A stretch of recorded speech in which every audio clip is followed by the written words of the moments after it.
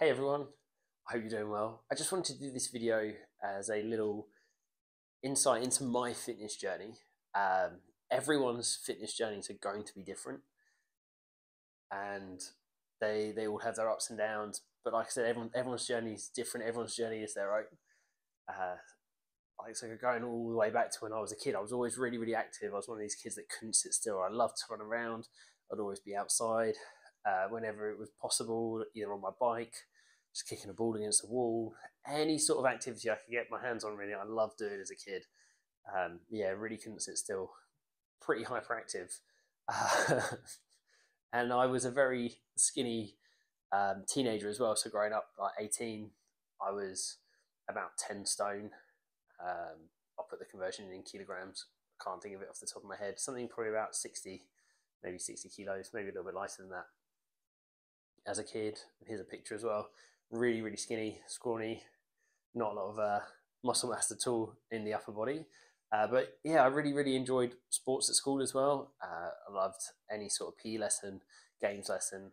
Didn't really matter what sport we were playing, as long as I could be active, is what I really, really enjoyed. And then during secondary school, I started playing rugby outside of school as well. Uh, joined a local rugby club thanks to my best friend and his dad, who was our coach they asked if I wanted to start playing because I did quite well at some events at Sports Day and they were looking for some quick players. So I started playing rugby and I fell in love with the game started, and continued playing rugby up until the point of going off to university. And this is where my fitness journey took a bit of a, um, a negative turn because even though I went to uni and I studied sports science, I wasn't particularly active at university. Um, as I wasn't part of a team, I wasn't motivated to to exercise or or move around as much as I always had done. Um, it wasn't the same as being at home where I might jump on my bike and cycle down to the shop or something like that. Most of the shops were only one minute walk away from where where our university house was, so I just walked there and back. Um, I used to in second and third year ended up playing five aside once a week and maybe doing a 10 minute walk to university and a 10 minute walk back and that was probably the most amount of activity that I did and this had a really negative effect, uh, not just on on like my fitness, but it had a negative effect on on my mental health and mental well being, which I didn't realize till later in life. Uh, so, finished university, not being very active. As soon as I got back home, though, I uh, started playing rugby again, which I was really happy to do. Joined back or rejoined my local club, um, which is Dover Sharks. We started playing playing rugby again, really enjoying it. Um, had to work hard to build my fitness up because obviously I'd gone to university and become quite unfit and a little bit chubby. Um, I'll post a picture of that as well. Uh, so not not doing so well post university. Um, but then started doing that, and then a, a little bit after university as well, I did my personal trainer qualification.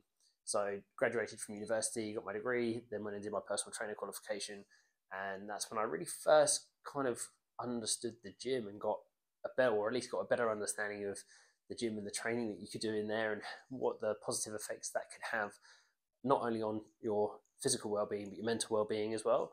And I started just to piece a few bits together, but it still took a couple of years after that before I really, really got into my training. So after I qualified as my PT, came back and started playing rugby again, but adding a few bits of what my extra knowledge into it and and finding that I was getting better better results on the pitch through my training, which is not a surprise when you look back at it. But at the time, it was like, oh, this is this is really useful. Uh, so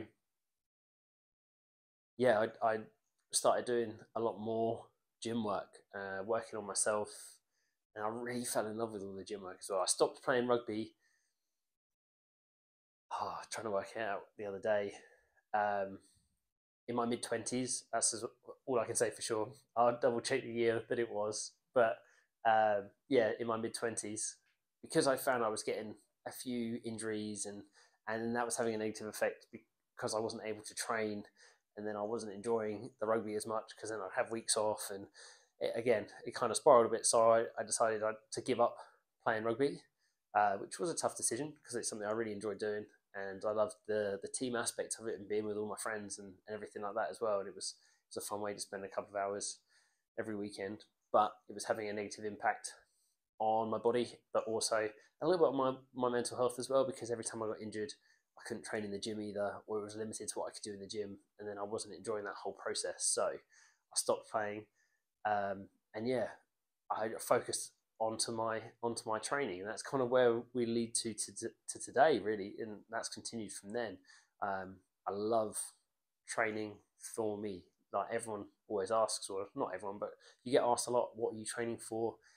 why do you do so like this? Why do you do that? And it's like, well, no, I'm training for myself and for life. I want to be strong and healthy and well for as long as possible. So all my training is centered on on being the best version of myself that I can. It's always a process as well. So this is my journey so far. This is where I've got to at the moment. But there's always somewhere to to progress to, uh, and like I want to keep going. And like I said, it's, it's about the long game, longevity.